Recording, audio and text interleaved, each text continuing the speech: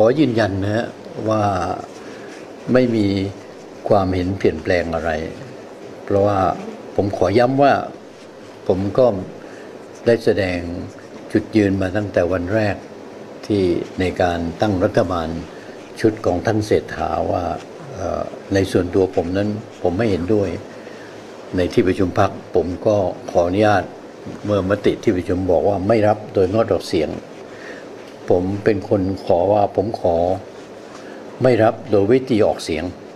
คือไม่เห็นชอบ และผมอธิบายที่ประชุมว่าสำหรับผมนั้น ถ้าผมทำอะไรที่สวนทางกับที่ผมเคยขอร้องประชาชนไว้เท่ากับผมทรยศประชาชน เพราะผมเป็นคนที่ขอร้องประชาชนว่าอย่าเลือกพรรคไทยรักไทยพรรคเพื่อไทย เหตุผลไม่ใช่ความขัดแย้งส่วนตัว แต่เหตุผลเพราะว่าพรรคเหล่านั้น ได้ประกาศชัดเจนว่าจะพัฒนา เฉพาะ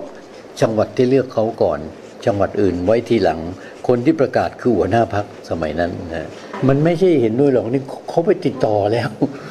ไอ้ที่มาถามผมว่าเขาเชิญมาเนี่ยความจริง ผมว่าคนของเราเนี่ยไปติดต่อเขาก่อนเขาเชิญ สงสัยจะไปขอให้เขาเชิญด้วยซ้ำไปนะเนี่ยแต่ว่าโดยมารยาทเขาอาจจะชวนไปโดยวิธีนี้ เพราะฉะนั้นผมคิดว่าไอ้ไอ้นี่ไม่ใช่เรื่องแปลกอะไร เพราะว่าถ้าถ้าพูดถึงก่อนหน้าที่จะมีหนังสือเชิญเนี่ยคนของเราบางคนอย่าไปพูดเพื่ออทุกคนเลยนะครับ บางคนเนี่ยก็ไปประสานติดต่อ ถึงทำให้ถูก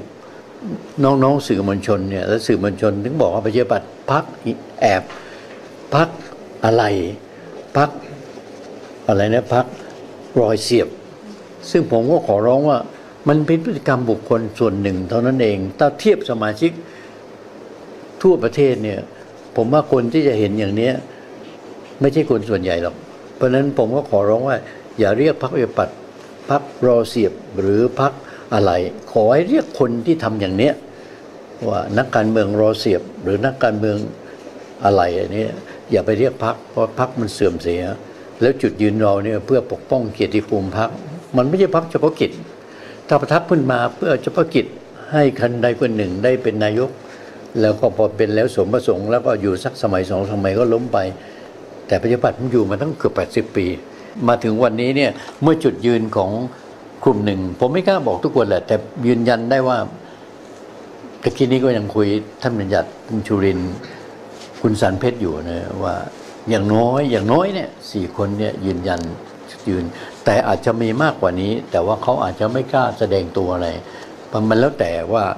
บางคนก็ไม่ได้เป็นลูกน้อง พูดง่ายๆคือในของจริงในชีวิตจริงของนักการเมืองรุ่นปัจจุบันเนี่ยมันเป็นลูกน้องกันว่าใครลูกน้องใครกัน ก็เห็นใจเขาว่าเมื่อลูกพี่ให้ทำยังไงก็ต้องทำอย่างนั้นมึงซึ่งเมื่อก่อนมันไม่มี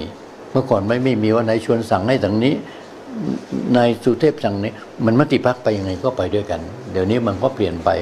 ต้องยอมรับ แต่ว่าผมขอยืนยันเพื่อว่า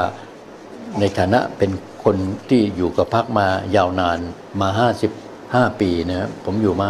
55 56 ปี ผมก็เรียนยืนยันว่าผมขอปกป้องเกียรติภูมิของพรรคแล้วก็มติของพรรคเป็นอย่างไร ก็เคารพมติ แต่ว่าอย่างน้อยพวกผมไม่เห็นด้วยที่ร่วมพรรคการเมืองที่เคยกันแกล้ง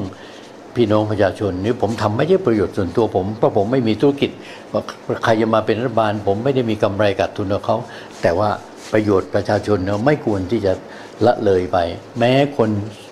จะไม่ค่อยสนใจอย่างนี้ ต้องต้องเรียนตรงที่ผมย้ำน้อยคนที่ต่อสู้ให้พี่น้องที่ถูกกันแกล้งเหล่านี้ครับ